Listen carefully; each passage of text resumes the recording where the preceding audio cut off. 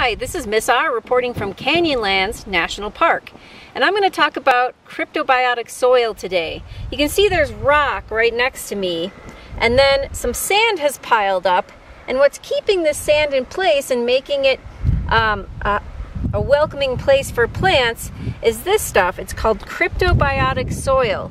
It starts out with cyanobacteria that comes in and puts out small filaments that hold down the soil and also hold water, making it a welcome place for plants. Plant seeds can come in and enjoy the water that the cyanobacteria has trapped and they can get their start here.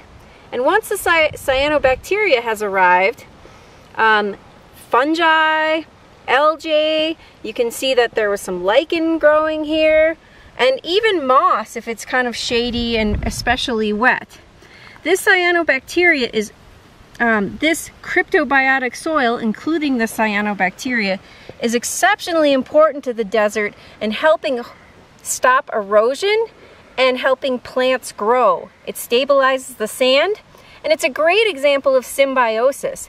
All these organisms working together and benefiting each other.